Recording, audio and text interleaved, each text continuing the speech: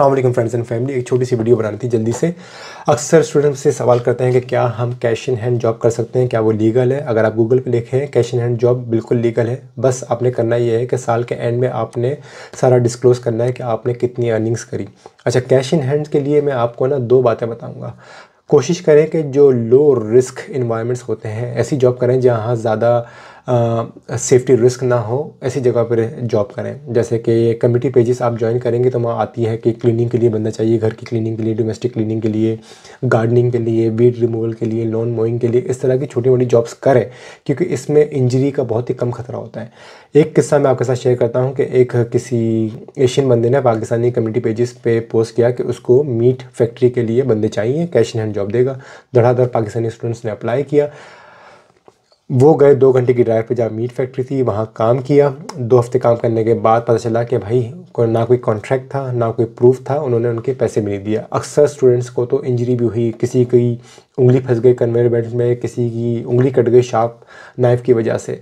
अच्छा देखें अब आप यहाँ आए मैं समझ सकता हूँ कि इंटरनेशनल स्टूडेंट्स हैं आप आपको फ़ीस जमा करनी है।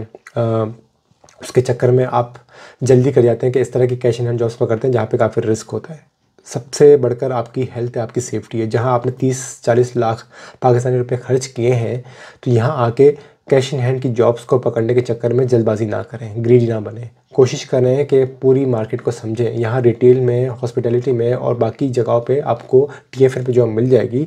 बाकी जो छोटी मोटी जॉब्स अगर आपको कैश इन हैंड करनी है तो वो आप अपने लोकल कम्युनिटी पेजेस को ज्वाइन करें, वहाँ पर आती है।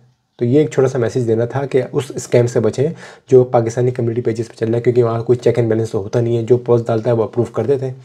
तो वो उस बंदे का प्रोफ़ाइल भी मैं आपके साथ शेयर कर दूँगा स्क्रीन पे, उससे ज़रा बच के रहें, क्योंकि काफ़ी लोगों ने कंप्लेन करी है कि उन्होंने, उस बंदे ने उन स्टूडेंट्स से कैश हैंड जॉब कराई है, एक हफ़्ता, दो हफ़्ता, फिर बोला कि मैं ट्रांसफ़र कर दूँगा और फिर वो गायब हो गया। अब स्टूडेंट्स के पास ना कोई प्रूफ है ना कोई कॉन्ट्रैक्ट है, ना वर्क कंपनसेशन होता है, ना सुपर एनिवेशन है। जैसे कि वो स्टूडेंट्स इंजर्ड हो गए जॉब करते हुए तो उसका कौन भरेगा? ऑफकोर्स आप उनको अपनी इंटरनेशनल जो इंश्योरेंस थी, उसके थ्रू जाना पड़ेगा। आप नहीं पता उस पर एक्सेस कितना आता है। तो बस ये छोटी सी वीडियो बनाने का मकसद ये था कि आप लोगों को बताते चलूँ कि मार्केट में किस किस्म का फ्रॉड हो रहा है और उससे बचें। Thank you